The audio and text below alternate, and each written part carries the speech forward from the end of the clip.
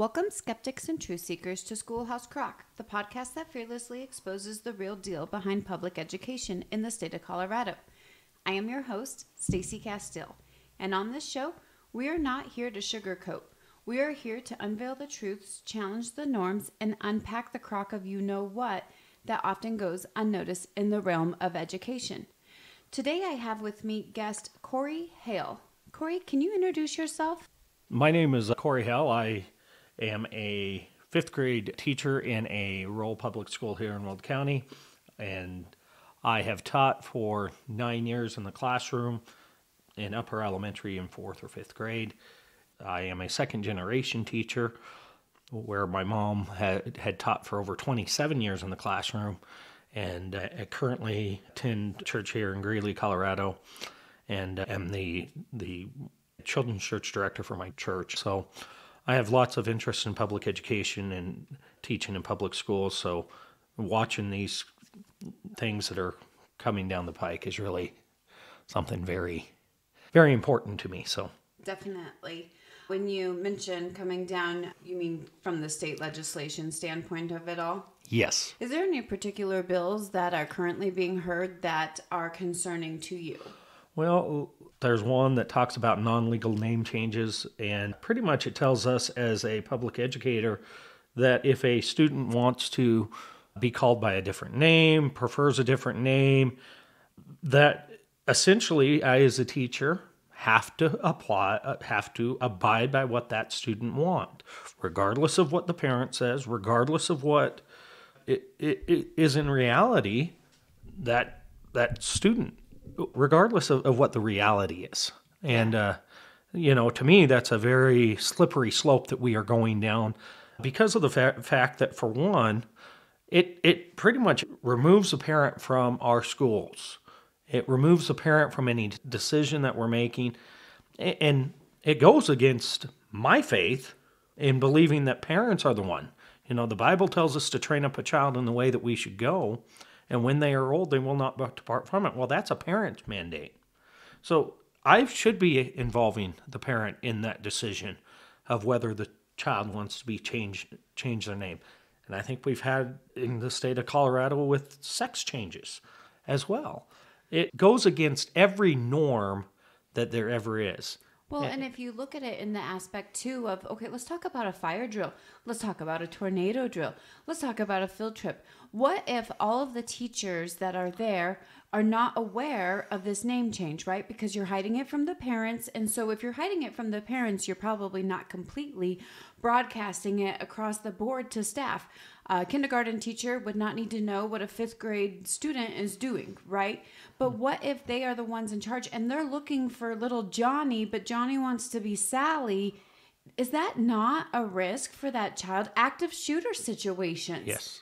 It is an absolute risk and an absolute, uh, absolute travesty that you're going to put those children at risk and uh, in those type of situations. But you know, this is what we're getting out of some of the, I'm just going to state it, it's the liberal, a liberal legislature that we have here in Colorado. It, it's absolutely repulsive, eh, and our children are pretty much running the show. Yes. I mean, are. it's not, the parents aren't in charge of the child's education. I, as a teacher, aren't in charge. The local school board's not in charge. It's now the, it's now the child that's in charge, and we pretty much have to go with what what they say.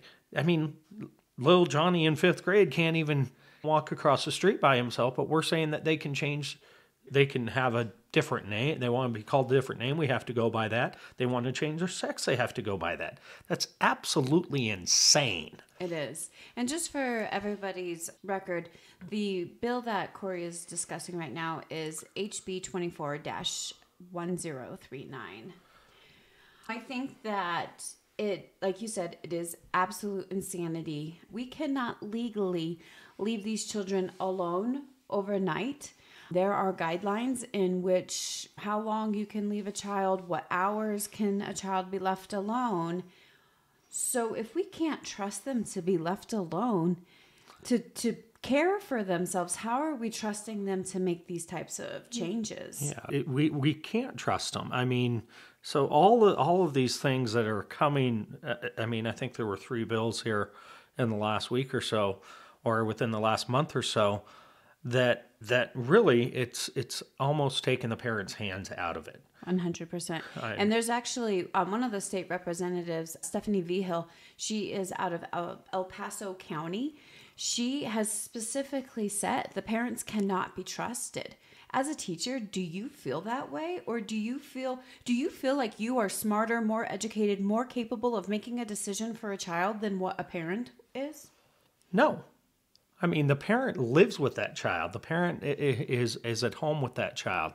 You know, uh, so to tell me that the parents can't be be trusted, maybe she can't be trusted Amen. with Amen. legislation, and I'm going to say that. So she needs to step away from the legislature, actually put in put sane people in that actually can be trusted with legislation and know what's best for the kids. When I'm the teacher, I'm the adult in the room. When the parent goes home, they're they're the adults there. And and I expect that out of the parents. Now, you've got those kids that probably, you know, would get get physically abused or something like that. I get that. But that's not the majority of parents. Well, and wouldn't you say that in situations where a student is not being abused at home, okay, but there's an issue in your classroom, you're going to reach out to the parents so that you guys can wrap around that student and try to help them mm-hmm. succeed in school. Now, if you see a student in your classroom that you have concerns that they're being abused, then at that point you would say, hey, I don't feel like this is a safe situation. Let me get somebody else involved because I cannot go to the parents. The, the chances of of a student being abused at home, whether mentally, physically, emotionally, verbally, whatever, is so much smaller than what is really happening. Mm-hmm. But yet, we want to make these mass changes that'll affect all students across the board, whether they're being abused or not. You know, and in my tenure as a teacher, my nine years as a, as a teacher in public education, if we feel like a child is being abused, we have a number that we can call and we can, we're supposed to contact. So if you're clergy, if you're if you're a coach, if you're I mean, even if you're a volunteer in the school, we have the ability to to contact somebody and, and say, "Hey, this child is in danger. We feel like this child need we need somebody to check on it." Now, sometimes they come back and say, "Yeah, everything's okay." You know what? But but and we can have our anonymity as a teacher. Our we can we can stay private as a teacher. So if we're concerned about that, you know, okay, we we we, we have ways to get around that. I mean, but this this whole not involving the parents and the sex change or wanting to be called they them. I mean, I'm going to be honest with you. If you call somebody they them or if a child wants to be called they them, that is absolutely I, I would ask the kid whether they have multiple personalities. Yeah. Well, and I think if you even look at it from an educational standpoint, how do you properly teach a child grammar? No, you if can't. you can say, well, wait a minute, that's a multiple, but you're only a single, but like, we'll play along and let you think that you're a multiple, even though you're only a single. Or, or a kid that uh, believes that they're a furry. Oh, yeah. I mean, we can't even if a kid wants to be a furry. I mean, there's I've heard of uh, public school districts who have put a a cat litter box in the bathroom. Why are we even doing that? Yeah. If you want to be an animal, you stay at home. My cat stays at home. He has his litter box at home. He doesn't need a litter box in my classroom, and I don't bring him to class. This isn't Mary Had a Little Lamb. Sorry, Bart. You, sorry, Bart. You're not coming to my classroom. I, you're a great cat, but you're not coming to my classroom. That's, by the way, that's my cat's name is Bart. So, Is there any other legislation that's coming down that's that's also concerning to you? oh uh, well. Let's see. Here's SB 24 034. It talks about increasing access to school-based health. Looking at this bill summary, it talks about increasing access for primary health care, behavioral health care, oral health care. You know, one of the things that I found out is actually this is not even just limited to students. Teachers can now access this as well. Yeah. Um, they get grants from the federal government. Um, but when they were actually discussing this a couple weeks ago during session, they had a doctor from the Denver area go on and testify in, in favor of this, of course. And she was talking about what an amazing situation she'd encountered that day where a student was making some risky sexual decisions and had confided in a teacher and the teacher was able to get her in touch with the doctor and they were able to do a physical exam a little bit of an emotional exam and then kind of go this this mm-hmm. route and they were able to do that all without talking to the parents. Now, this is a gray area because Representative Lundeen had asked for clarification if the parents had been notified, and they said, well, in this situation, the student was 18. But unless it's sexual assault, if a student is 12 years old or older, hmm, they hmm. can actually make a decision to not have their parents involved. And that's that's terrifying as well. And so what you're running into this, and and I get, you know, you want to make sure that you have healthy students and things like that, which is why I I think dentists for as for as long as I can remember, there are times that they provided low cost health care. I remember when I was teaching over on the western slope, I uh, the college that they had right in that town had did a day where kids would go and get their teeth cleaned. And so you've had that where dentists provide some some dentists come in and provide low cost health care. I think uh, Weld County has even had a day where where they've had people come in and uh, at Island Grove and and do their their dentist. Uh, they have oral health care. You know, behavioral health care again it's you know we have that already so in place where kids can get that low cost health care they don't need a health care clinic on in a school what school needs a full blown health care clinic unless you're going around the parent and trying to stop the the, the parent from hearing about Well, it. It's it's they- absolutely insane. They target the parents of single parent homes, the full time working, unable to take time off parent households, because those are the ones that they can say, well, see, look at how much easier we make this for you. But that parent may be thinking that their kid's going to get a free d- dental exam, whereas then they're also talking to them about their mental health and prescribing them medications, sexual health, all of these different aspects can be then slowly crept in through the back door. Yeah, and, and it's yeah. It, again, it, it's it's taken away parents, and this is something. I mean, we have health care, care clinics that we can go to that provide low cost health care if you tell them what their situation. Oftentimes, you know, and, and you go to an emergency room, uh, uh, they cannot deny you based off of your funding. Yeah. I, I mean, uh, it's signs all over. Yeah, if you go into a hospital, you cannot be denied services because of your because of your income. Yeah. Uh, again, this is all about trying to subvert the parents, all about trying to subvert the the teacher, all about trying to subvert the adults that should be the adults. Yes. Well, and like you'd stated, you know, the kids are running the show. That's 100% correct. So we are trying to cut the parents out. We're trying to empower children to think that they have the ability. I mean, you know, you hear stories about kids who, you know, call the police on their parents for disciplining them or something. Uh, first of all, as a child, anytime that I got disciplined, I I earned that discipline. Okay, I could not imagine what would have been my next discipline if I would have called the police on my parents. Well- but what we have is a generation of kids who are entitled, Entitled, yeah, they're who enti- think that they can. Um, I was at my daughter's school. Uh, oh gosh, it was probably in September, October. It's a high school, so they're driving. I see a kid pull out like an idiot, and I'm like, oh, kids. Yeah. And then, you know, I'm busy multitasking, and all of a sudden I hear wheels squealing, and I was like, what is that? And I look up, and I see that same vehicle jumping across a median sidewalk of the school, almost hits another car who has to slam on their brakes to stop mm-hmm. so he can go. And he goes and he does this a couple more times. So I'm like, okay, here comes here comes the Karen in me. No problem. So I get out of where I was parked waiting for my child. I go and I take a picture of their license plate because I want to notify the principal. Is there damage? Is this a repeat offender? Is this this person it wasn't immediately after school, but there was still a lot of cars and a lot of students on campus. It was a risk for them. So the kid caught me because I'm not stealthy at all in doing this. And he confronted me. Why are you taking a picture of my car?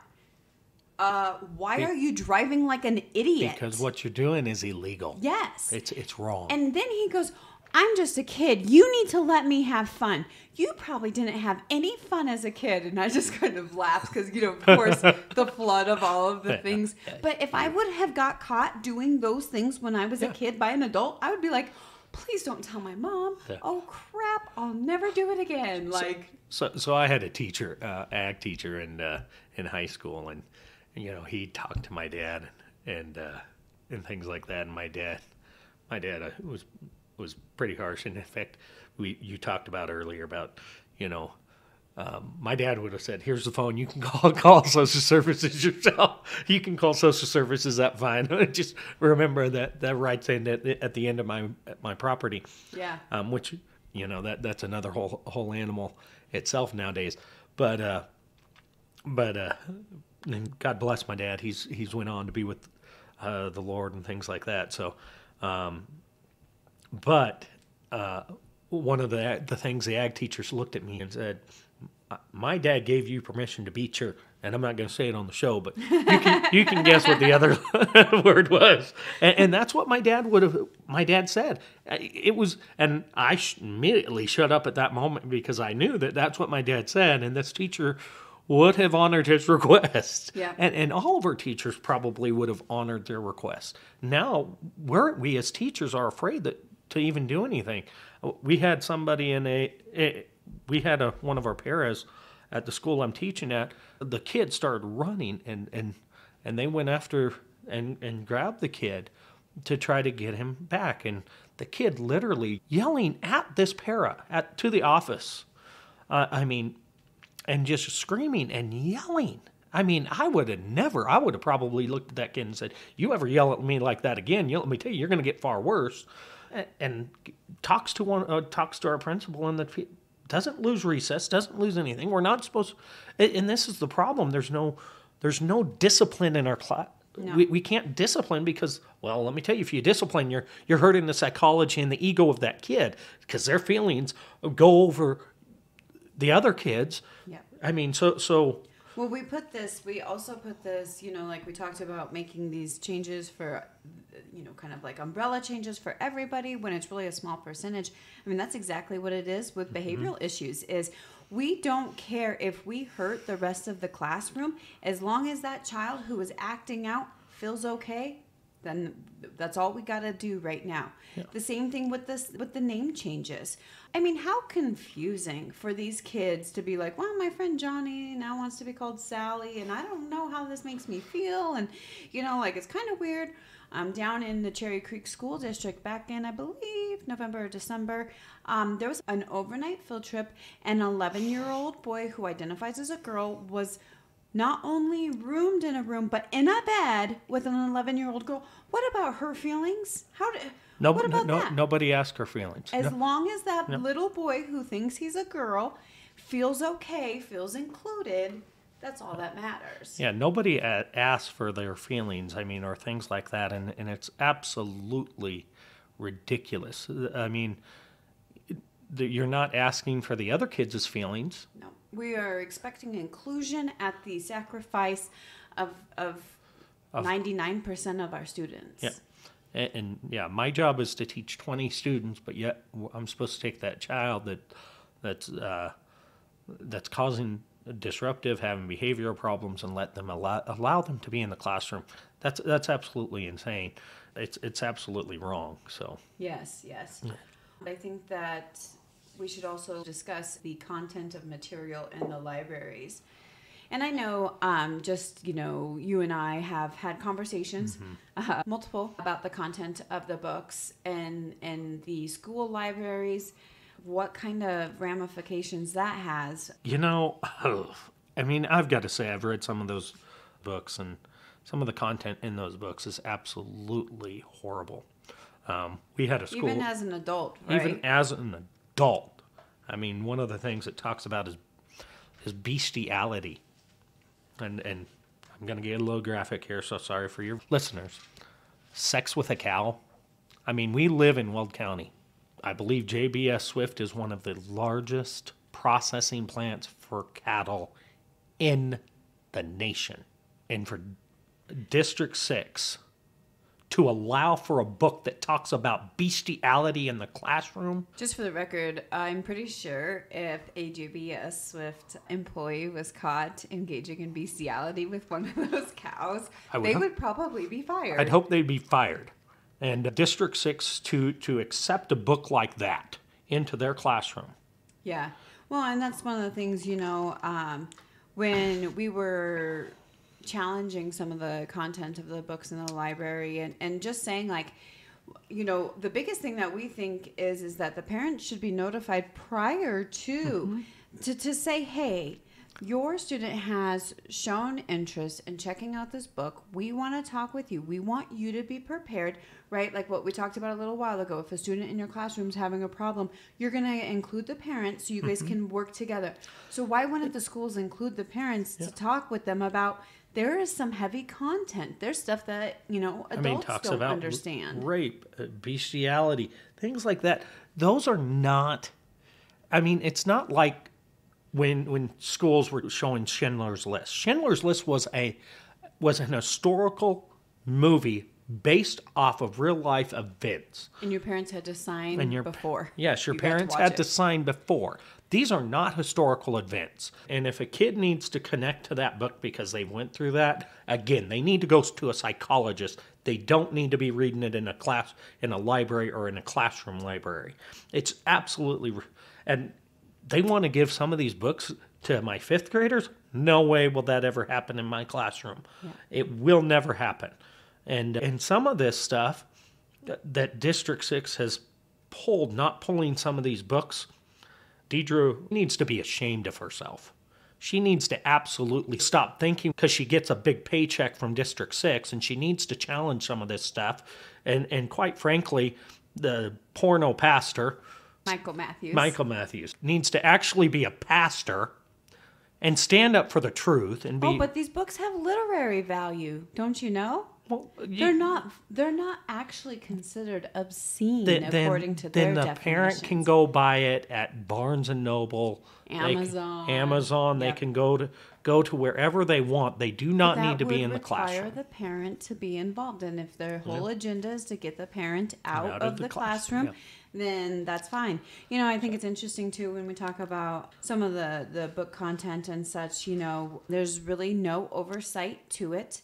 A teacher can actually just reach out to the American Library Association and say, I want this book in my school district, in my library. And then the next time that that library gets a shipment of books, because they mm-hmm. just, it's, you know, a crapshoot. Here you go. These are the books that you're gonna get this this year, this month, whatever their frequency is, and then there they are. So once they came in and the parents started to realize what was going on, then the school districts all panicked. Again, they're more focused on keeping the content in instead of finding a cohesive system for it. Like I said, notifying the parents beforehand. If you think that your student is capable of reading this book Mm-hmm. and you want them to be able to check it out from the library and they're, you know, Yeah. it's a age appropriate, they're high Age appropriate, schoolers, yep. whatever, then they can do that. But it's it's something that the parents are aware of, they're on board with, they're prepared to have hard conversations with their students. I'm a bookworm myself. Mm-hmm. It's one of my favorite things to do is read. And so I read one of the books and I read it in a day because the book, the writing was geared for second through fifth grade, but the content was geared for a ninth through 12th grade. So is it that our ninth through 12th graders are only reading at a second through fifth grade level? Or are we trying to introduce ninth through 12th grade concepts to second through fifth graders? I should not have been able to read this book in a day. Yeah. It- it- well, yeah, let's be honest. It- for most of our kids, if you look at statistics, our kid, our even ninth through twelfth graders are reading at a between a second and a fifth grade level. Yeah. I think I think it's a, so it's so- basically a combination of both. It's a combination our, of both. Mm-hmm. Our older kids can't read, and they want to introduce these Yeah. disgusting conversations with younger kids. Something I touched on a couple of weeks ago was our superintendent in District 6 handpicked people that she knew would not ever stand up to her. So these are all her yes men. Yeah, so, so you, I mean, you're letting one person decide who's going to be on this committee. A library resource may not be removed by request for reconsideration is pending. A principal, librarian, media specialist, an other employee, contractor, or volunteer may refuse a directive to remove a library resource if such an individual has a good faith belief. Well, how about removing it while it's being looked into? Yeah. So we're not going to cause controversy and then say, you know what, we've removed it. We're going to hold it off until then. That's what we would do almost in every other case. Yeah. You're essentially saying that we ha- we can't remove something that could be potentially dangerous, not only psychologically to our kids, but uh, sexually to our kids and things like that, because they're going to get ideas from this book. Again, it's not like Schindler's List. Correct. I mean, some of these books are not like Schindler's List, and to equate it with Schindler's List, you know, the movie or things like that is absolutely horrible. Yeah. So, what about if a school board gets to appoint these people and you interview people to be on these boards Yeah. instead of just saying, okay, just willy nilly? Or even if, like, each school board member, so say, you know, for instance, ours is a seven member board. If each of them brought one person, Person and to, the, recommended, to yep. the table Exactly. to, to be on the board, yes, there's probably still going to be evenness or the. Of views, right? Because that's typically how our school board votes is a, a five-two split. So it's going to probably be like that, but it would still give somebody a voice because it sounds like would- these books are being approved across the board by everybody that nobody sees a problem. And you know, and I have no problem with the librarian being on the board or the media specialist because they're that's kind of what they're in charge of. Okay, but then allowing other people to have that responsibility as well. Yeah. I mean, You know, it's funny. They talked about um, one of the books that we challenged. They weren't going to review it because it had been removed from the library due to inactivity. Okay. But then one of the other books that was reviewed and, and it went to appeals and they had the big um, show at the school board meetings. One of the board members, Brenda Campos Spitz, said that she's like, I don't know what the big deal is anyways, it's not like anybody's even checking this book out. It hasn't been checked out since 2016. So then why are we keeping it? Well, yeah, so we went through it? that whole process and we kept that book yeah. because that's what made people feel warm and fuzzy inside. But then we took out another book because it wasn't being utilized. This doesn't make any sense. It- you know, I'm going to tell you that we had a school board member who actually went to the shelf, found one of one a book that they found reprehensible, and, and pulled it off of their shelf, pulled it off of our library shelf. I, I, I praise God for that because that's the right thing to do. I mean, and and it's not that we're saying that these books can't be in a parent's home. So it, it's not like it's not still accessible if the parent wants them to have it. They can still have it accessible. If you can't read a book at a school at a school board meeting, you can't read a book. Then your your 12th grader can't read it. Your 11th grader shouldn't be able to read it. I- I'm sorry, Pastor Matthews, Pastor Porno you cannot read if you can't have that read at your school board meeting you can't have it read in all your, your libraries don't put it in your library Yeah. Uh, uh, Well, Deirdre, if if you push- can't have that read in, in the school board meeting don't you ever have it in your library you are a reprehensible person for doing that if that's the case I think one of the other things that's also concerning is, and and you know, truthfully, um, with challenging the books, the content of the books in the Greeley Evans District Six district doesn't even actually start to approach this problem, but it's the High Plains Public Libraries. Um, I know that the the bookmobile goes out to your area, Yep. and and it goes out to multiple areas throughout the county. Um, and they are bringing these books there, and then it's those books opening the door for children to have access to them. Yeah, I think it was last year I caught one of my students. Um, they had a book that was promoted by GLAAD, so G L A A D, and GLAAD is the pretty much gays and lesbians, and, and so here, so again, it's it- it's promoting a certain lifestyle to these kids. I mean, you know, it's it's something that we need to definitely worry about. You know, so so we think some of this stuff that oh well, it's just happening in District Six. Well, it's going to trickle out there. I had a school board member says, "Well, I don't want to f- force my religion on people." Well, these laws that they're passing, the the some of this stuff is coming out out to our district, and it's coming out here real soon. It, and we think, oh well, it's just we're a small rural school district, and we, you know we can fight this. We have conservatives on the school board. Yes and no, because we as conservatives sometimes are the ones that go, well, We don't want to rock the boat. yeah, we don't want to rock the boat. We don't want to say anything. Well, it's time to speak up. Yeah. It's time to say enough is enough. I mean, we have kids that actually live in District 6, but their parents work out for us, so they come out to our school. So some of the there and there's some some that move out there because they're ti tired of this this stuff. We've had parents that moved out there because they were getting tired of it. Well, and they even took their special needs child Mm-hmm.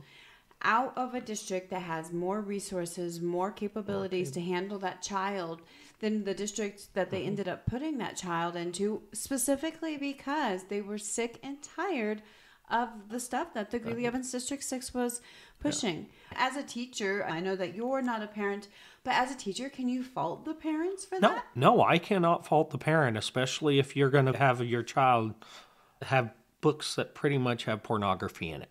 Yeah. I cannot fault. I think that one of the other things that's probably a little concerning too, going back to the movement of the students from bigger school districts to smaller school districts, more rural.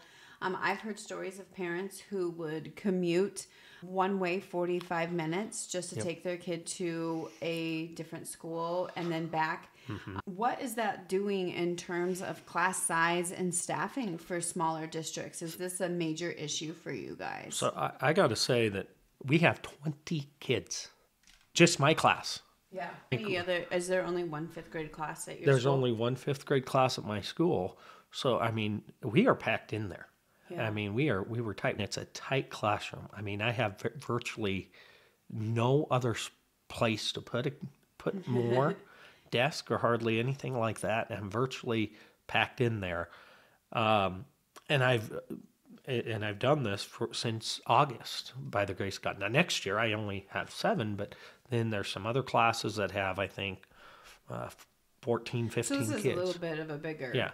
So and we're so you're seeing people want to move out there, want to move to these rural school districts, or even uh, go to a school district. I think I have one kid that lives in Fort Collins. I have have two or three that live that come from Greeley or or a bigger school district.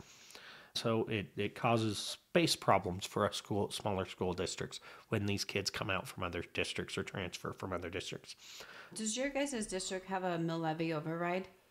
We, we do. I think that's kind of the downside too, though, is is that if these kids are coming from other places, they may be paying a mill levy override. Mm-hmm. Say they're coming from Greeley Evans District Six, that's Yeah. where they live, but their parents are commuting them out there. They are paying a mill levy override Yep. to District Six, but that funds aren't going to the other Nope. schools where it's needed, and that's really concerning. You're going to need more and more paras, which you're losing paras daily as well.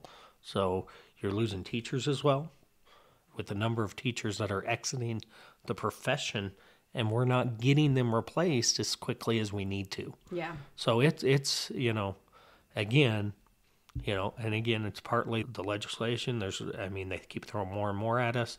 We're expected to be a psychologist as a teacher. We're expected to be a medical professional. Neither one of those I went to college to be. I do have a, a question for you. Um, Yeah. If a student of yours came to you and said, Mr. Hale, I believe that I am transgender, what would your response be? My response would be, well, who did God make you to be? I mean, and not only that, I have an obligation, a moral obligation to tell the parents, regardless of what the state laws say. I mean, I'll break the laws. I don't care. My God is is is first and foremost going to dictate how I respond to that kid. I would probably look at that kid and say, God made you into this from from birth. I understand your confusion. I understand what you're feeling. Probably ask them why they're feeling that way, why they're thinking that way. You know, is it, you know, is it something that happened during the course of uh, them growing up? Uh, is it being teased by other kids? Because a lot of times this is being, it's other kids teasing them, you know? I mean, telling them that they, they look like a boy or a girl looks like a boy or a boy looks like a girl. Or, oh, you like, you like baking or you like something feminine. You like sewing. Okay, so be it. Mm-hmm. Okay. That doesn't make that person into a different gender. And so I would probably have to come at it looking like that. Why is this child wanting to be something that they're not? I think that's a really great response because I think a lot of times, like you said, that there's something else leading to this to, to make them to feel this way, to to lead to this. I talked about a couple weeks ago. I talked about a child, a girl in District Six, who um, was sexually assaulted by her father, and for the last six years, she's been taking testosterone because she doesn't feel comfortable being a girl because of what her father did to her. So she sees this as the way to protect herself from ever being a victim again. Oh, and yeah. that's we're not dealing with that That's heartbreaking. underlying. We're not dealing with the underlying issues. We're not addressing those. We're putting a horrible band-aid on it. And you've got to address the underlying issues first. And, and I'm going to be honest, I'd probably ask if that child if I can pray with them. I mean, because I believe that they need to connect with God and they need to find who God made them to be. Yeah. Because they're trying to figure out, they're trying to be what everybody, what the world wants them to be. They need to, they need to know that God loves them right where they're at. They need to know that God loves them for who they are. I just have to say thank you so much, Corey, for being so strong in your faith in that aspect because you don't know how many Christian teachers I come across that are willing to push their Christianity away for fear of being offensive. It's it's awful and we need more more Christian teachers to be able to stand and say mm. no this is where I'm at and I will not compromise my values, No. my morals just to make somebody else feel better about their sin. I mean, that's I, at the end of the day, Yeah. that's what it is, right? It that's is. why they're doing that is, and and it, we're not saying call them sinners and and throw tar and feathers on them, but we're saying that when you love them in truth, Truth. you you tell them, them. the truth. Yep, and you tell them the truth, and, and you've got to come from a place of love. And we're living in a time where the lines are being drawn. Yep. I mean, am I going to live for Christ and, and not care to lose my license? My, I, I- I don't care if I may lose my teaching license, I may lose my job, but my Christ, my faith, my God said He would provide for all of my needs, regardless of whether I have my job tomorrow, Yep. regardless of whether I have whether I have my teaching license. If Yeah. I have to lose my teaching license because because of some of these laws, then I will lose my teaching license for some of these laws. I'm not going to look at a kid and tell them that they are a different sex that they're not. Well, thank you so much, Corey, for joining us today. I think this was a really good conversation. Um, and thank you guys for listening. I hope you guys will join us next week.